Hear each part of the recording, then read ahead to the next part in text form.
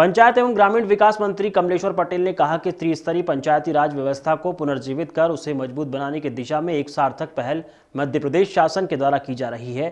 इसी कड़ी में गौशाला एवं कांजी हाउस के निर्माण की अनुकरणीय पहल की गई। सुदूर सड़कों का निर्माण जिला पंचायत, जनपद एवं ग्राम पंचायत के प्रतिनिधियों के विकल्प राशि में अभिवृद्धि सहित अन्य व्यवहारिक निर्णय लिए गए हैं। मध्य प्रदेश शासन के प्रति आभार मानने के लिए भोपाल जिला पंचायत अध्यक्ष मध्य प्रदेश के जिला पंचायतों के प्रदेश अध्यक्ष मनमोहर नगर, पूर्व भोपाल जिला कांग्रेस ग्रामीण अध्यक्ष अवनीश भार्गव, बेरसिया जनपद उपाध्यक्ष ओम प्रकाश शर्मा एवं मध्य प्रदेश की कई जिला पंचायत, जनपद पंचायत के अध्यक्ष गण पदाधिकारियों एवं सदस्यों ने स्वागत एवं आभार व्यक्त किया। भोपाल से गजेंद्र सिंह सोलंकी की रिपोर्ट। पूर्व मुख्यमंत्री दिग्विजय सिंह और वन मंत्री के बीच शुरू हुए विवाद के बाद उमंग सिंगार ने मुख्यमंत्री कमलनाथ से मुलाकात की, जिसके बाद ये विवाद समाप्त हो गया है। ये कहना है प्रदेश के जनसंपर्क मंत्री पीसी शर्मा का। जनसंपर्क मंत्री ने कहा कि कांग्रेस में कोई गुटबाजी या विवाद नहीं है। वहीं झाबुआ नगर निकाय के उपचुनाव में एक बार फिर कांग्रेस की जीत का दावा किया।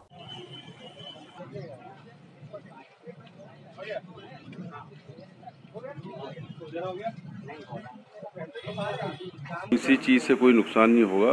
कल उनके मुख्यमंत्री कमलनाथ जी से मुलाकात हो गई। मैं कही रहा था कि वो, वो मिलेंगे तो निराकरण हो जाएगा। तो मैं समझता हूँ सब निराकरण हो गए होंगे। मुख्यमंत्री जो प्रदेश कांग्रेस के अध्यक्ष हैं उनसे मिलने के बाद। सर इन चुनाव में कांग्रेस मतलब आप अ, का चुनाव कांग्रेस जीतेगी। और नगरीय कल्याण नगर निगम और नगर पालिका के चुनाव होंगे उसमें भी पूरी ताकत से कांग्रेस जीतेगी। सर एक बड़ी खबर ये है कि सीएस घोटाले को लेकर कांग्रेस आवाज़ उठाती आई है लेकिन सर रिपोर्ट सीएस घोटाले के मामले में विधानसभा में भी एक सवाल आया था उसका जवाब मैंने ही दिया था उसमें उसकी जाँच होगी उसके आदेश दे दिए गए। सर मंत्रालय से रिपोर्ट गायब हो गई रिपोर्ट गायब हो गई खबर है कि तो रिपोर्ट गायब हो जाएगी लेकिन घोटाला थोड़ी गायब होगा घोटाला अपनी जगह रहेगा उसकी जाँच होगी। निश्चित तौर पर जो कल एक, पूरे मध्य प्रदेश के संभागी स्कूल के बच्चे आए थे, उनका हॉकी और दूसरे अन्य खेलों के टूर्नामेंट हो रहा है। उनकी ठहरने की व्यवस्था ठीक से हो और वो रुक सकें, क्योंकि इस तरह के आयोजन खेल के हमेशा भोपाल में होते रहते हैं, राजधानी मध्य प्रदेश की। तो मैं खेल मंत्री जी से, पटवारी से और मुख्यमंत्री कमलनाथ जी से मैं ये निवेदन किया है कि एक कॉम्प्लेक्स बनना चाहिए। सांस्कृतिक कार्यक्रम से जागरूकता आई हमने कल सुरीला कल रविंद्र भवन में आपने कार्यक्रम करा था सुरीला हम्म। उसमें आए आपने बोला था कि सांस्कृतिक कार्यक्रम से निश्चित तौर पर एक सांस्कृतिक जो कार्यक्रम होते हैं तो उसमें नई प्रतिभाएँ जो होती हैं वो उभर के आती हैं। और उनको एक नया प्लेटफॉर्म मिलता है। कल जो कार्यक्रम था रविंद्र भवन में जो युवक पर्यावरण संस्था ने किया था, उस नए शहरों को, जो पहली बार बहुत से थे, जिन्होंने अपना वहाँ पर प्रदर्शन किया, बहुत अच्छा किया तो उनको मौका मिलता है आगे बढ़ने का, ऐसे कार्यक्रम होते रहने चाहिए ये जगह घंटी बजाएँ कुछ भी करें। ये डी से बाहर हैं, और पाँच साल बाहर रहेंगे, कमलनाथ जी मुख्यमंत्री रहेंगे, और सभी नगरीय निकाय चुनाव में और सब जगह कांग्रेस जीतेगी सिंगर्स घोटाले सर सिंगर्स घोटाले वाली फ़ाइल गायब हो गई बता रहे हैं मंत्रालय से। देखिए फ़ाइल कोई सी गायब हो जाए लेकिन घोटाला गायब नहीं होगा वो है अपनी जगह। और घोटाले की जाँच होगी इसकी मैं भी विधानसभा में एक सवाल के जवाब में उत्तर दे चुका हूँ। और उसकी कमेटी बनकर जाँच कमेटी बनकर उसकी जाँच होगी। और जो जो लोग उसमें दोषी हैं जिन्होंने भ्रष्टाचार किया है अपराध किया है सबको सजा मिलेगी। के भी शिकायत आपने वन मंत्री से की थी जिस पर अब तक कोई कार्रवाई नहीं की मुझे उम्मीद है हमारे वन मंत्री सिंगार जी उस पर कार्रवाई करेंगे। क्या था पूरा मामला? मुख्यमंत्री से भी आपने इसकी शिकायत की थी और लेकिन नोटशीट पे इसको लेकर आपने लिखी थी। मैंने नोटशीट लिखकर भेजा है और मैंने उनको कोई फ़ोन पे चर्चा की थी तो उन्होंने ठीक से जवाब नहीं दिए थे इस और मैं समझता हूँ कि अगर फ़ोन से कोई अधिकारी या कर्मचारी किसी भी मंत्री का ठीक से अगर जवाब नहीं देगा तो अनुशासनहीनता अ, मानी जाएगी। उसी संदर्भ में मैंने मंत्री जी को सर क्या हमारे कब तक पीसीसी चीफ के नाम हो सकता है? कब तक हो जाएगा पीसीसी चीफ के नाम पर? कब तक मोहर लग जाएगी? ये बात आप मध्य प्रदेश के मुख्यमंत्री और अध्यक्ष कमलनाथ जी और सोनिया गांधी क्या सर सरकारी प्रोग्राम ग्वालियर में जो है नहीं करना है। तो मुख्यमंत्री कमलनाथ जी के मंत्रिमंडल के सदस्य हैं और जो भी काम उनको मुख्यमंत्री सौंपते। देश का गौरव चंद्रयान दो सात सितंबर को चंद्रमा पर उतरेगा।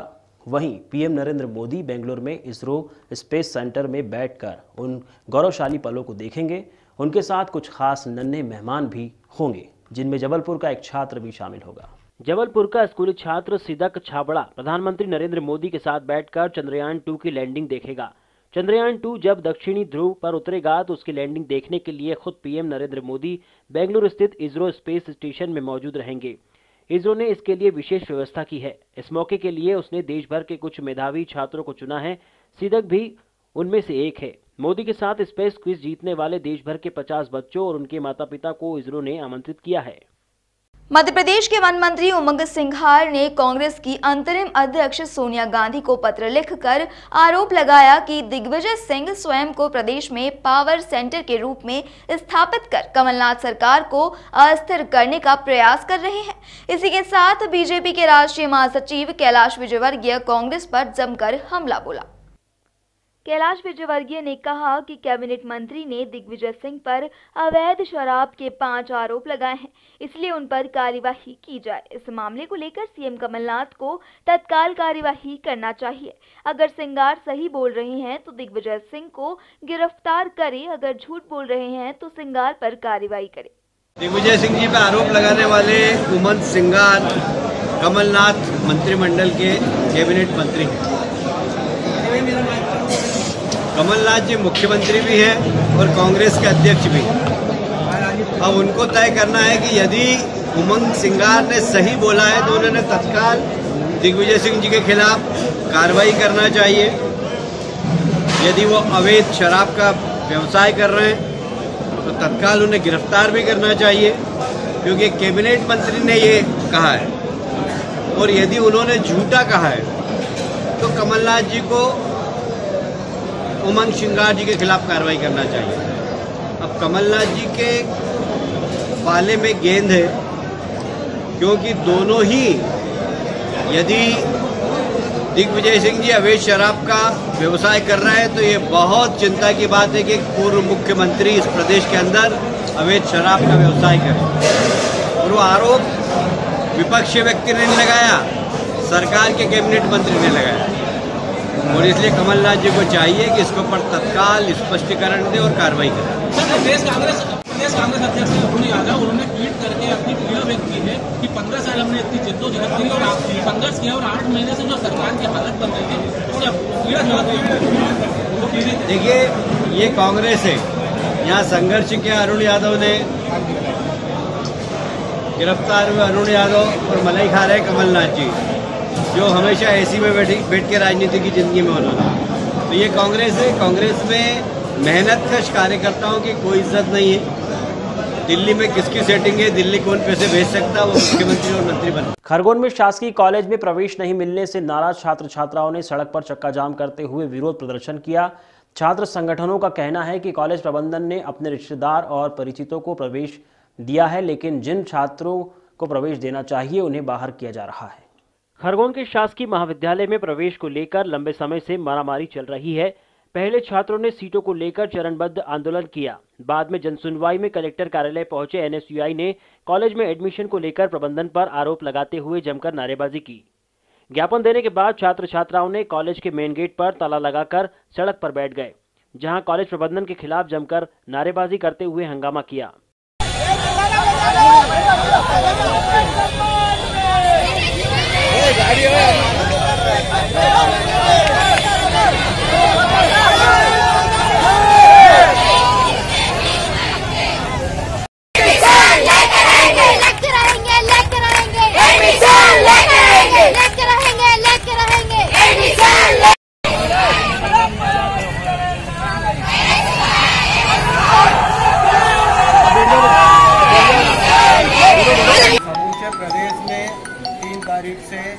फिर से ऑनलाइन प्रवेश की प्रक्रिया चालू हो गई है, लेकिन ये एक महाविद्यालय मेरे को तो ऐसा दिख रहा है जहाँ अपनी मनमानी चल रही है।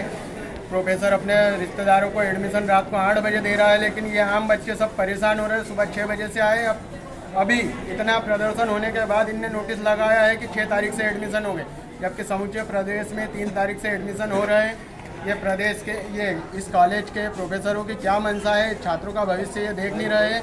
पता नहीं क्या हो रहा है इस कॉलेज में आपके द्वारा जो चक्का जाम किया गया है उसमें कई आम आदमी और स्कूली बच्चों को भी परेशानियाँ हुई बच्चे सुबह छः बजे से आए हैं लड़ इसमें छात्र छात्राएँ दोनों हैं। वो छः बजे से आए हैं, चाय पानी पीकर आज शाम को चार पाँच बज गई है उन्हें कोई जवाब ही नहीं दिया जा रहा है कि क्या हो रहा है।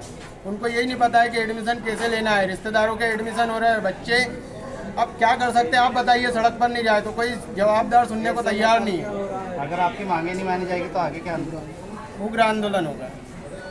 एक एक एक आरोप ये भी था कि पोर्टल चालू है उसके बाद प्रवेश नहीं दिया है यही हमको समझ में नहीं आ रहा है प्र- प्राचार्य नहीं है तो प्रभारी प्राचार्य प्राचार्य का रास्ता क्यों देख रहा है? पोर्टल चालू है क्या? हाँ हाँ तीन तारीख से चालू हो गया है। घटना की जानकारी लगते ही मौके पर पहुँची पुलिस ने नाराज़ छात्रों को समझाइश देकर कॉलेज प्रबंधन से बात कर विद्यार्थियों की समस्या को दूर करने की बात कही। गवर्नमेंट की अभी जो नया सर्कुलर आया है पहले आइए पहले आइए पहले पाइए उसमें हमारे यहाँ कुछ सीट रिक्त है लेकिन हमारे हमने चूँकि फ़ीस भरने के लिए भी अप्लाई किया हुआ है उसका पोर्टल पर छः तारीख को पूरा सीट प्रति में पोर्टल पर डलेगा तो उनको दोनों को मिलाकर हम सात तारीख को देना छः को मतलब छः को डलेगा हम सात को देंगे। लेकिन बच्चों की डिमांड है कि जो सीट रिक्त है उनको हमको अभी सवेरे से जो है उनको देना तो अभी हमने व्यवस्था करी है कि जो सीट रिक्त है उनके अभी हम व्यवस्था मैडम छात्रों का आरोप भी प्रशासन कॉलेज प्रशासन पर आरोप भी लगाया है कि कम परसेंटेज वाले छात्रों को छात्रों को पहले एडमिशन दे दिए गए हैं जिनके ज़्यादा परसेंटेज है उनको एडमिशन नहीं दिया जा रहा है। ऐसा अभी तक मेरी जानकारी में नहीं आया है। उनकी जो एप्लीकेशन आई है हम जाँच है? एक प्रति उन्होंने कलेक्टर साहब को भी दी है जिसमें एक बच्चे का कम परसेंटेज पे एडमिशन हुआ। वो अभी जब आएगा तो पता लगेगा कि किसके द्वारा इनिशिएट हुआ किसने फॉरवर्ड किसी प्रोफेसर के द्वारा हुआ नहीं वो तो जाँच के बाद ही बता सकते हैं हम उसके पहले कैसे कर सकते हैं। प्रवेश नहीं मिलने से नाराज़ छात्रों ने सड़क पर चक्का जाम किया, जिससे सड़क के दोनों ओर वाहनों की लंबी कतार लग गई। पुलिस ने विद्यार्थियों को हटाकर यातायात फिर से सुगम कराया। खरगोन से त्रिलोक रामणेकर की रिपोर्ट। सोने के भाव में मंगलवार को रिकॉर्ड तेज़ी देखी गई। इंदौर के सराफा बाज़ार में सोने का भाव करीब ढाई हज़ार रुपए की तेज़ी के साथ चालीस हज़ार रुपए के रिकॉर्ड स्तर पर पहुँच गया है। वैश्विक स्तर पर तेज़ी के कारण सोने के भाव में बढ़ोतरी हुई है। इंदौर में सोने के भाव में एक बड़ा उछाल नज़र आया है। पहली बार सोने के भाव अड़तीस हज़ार से बढ़कर चालीस हज़ार दो सौ चौवन तक पहुँच गया। पंजाब ज्वेलर के मैनेजर नीतीश पोरवाल ने बताया कि कुछ दिनों में सोने और चांदी के भाव में काफ़ी उछाल और गिरावट देखने को मिल रही है। यह बात साफ़ है कि इससे सोने की खरीदी पर काफ़ी बड़ा असर देखने को मिला है। बाइट, गौरतलब है कि त्योहारों का सीज़न शुरू हो चुका है। ऐसे में अधिकांश रूप से धातुओं की खरीदी में इजाफा दिखता है। लेकिन इस बार सोने के भाव बढ़ने से क्षेत्र में उत्साह कम है। कई लोगों का यह मानना भी है कि दिवाली तक सोने के भाव और बढ़ने की आशंकाएँ हैं। इंदौर से रक्षा यादव की रिपोर्ट। मध्य प्रदेश सरकार में वन मंत्री उमंग सिंघार ने वरिष्ठ कांग्रेस नेता और पूर्व मुख्यमंत्री दिग्विजय सिंह पर गंभीर आरोप लगाए हैं। मंगलवार को मीडिया से बातचीत के दौरान उन्होंने कहा कि दिग्विजय सिंह देश में ध्रुवीकरण कर रहे हैं। वो कमलनाथ सरकार को ब्लैकमेल करते हैं। दिग्विजय आखिर कांग्रेस को कब तक जराएँगे दस साल तक मुख्यमंत्री रहे हैं। कांग्रेस फिर से सत्ता में आई तो मलाई काटने क्यों आ गए? दिग्विजय सिंह पर आरोप लगाते हुए सिंघा ने कहा कि वो चुनिंदा विधायक और मंत्री के नाम पर ब्लैकमेल कर रहे हैं। मैं चाहता हूँ कि जनता को रेत सस्ती मिले। फिर क्यों वह अपने ठेकेदारों को घुसेड़ते हैं? सरकार पर दबाव बनाते हैं, बच्चों की तरह जिद करते हैं। सिंघार ने यह भी कहा कि दिग्विजय संभागीय स्तर पर मीटिंग करते हैं, ट्रांसफ़र पोस्टिंग कराते हैं और मंत्रियों को चिट्ठी लिखकर उसे वायरल करते हैं। उन्होंने यह भी कहा कि दिग्विजय सिंह ने उनसे मिलने का समय मांगा है, इसलिए वे सारे काम छोड़कर उनके इंतज़ार में बैठे हैं। वह इस मामले में कमलनाथ से भी मुलाकात करेंगे। भोपाल से गजेंद्र सिंह सोलंकी की रिपोर्ट।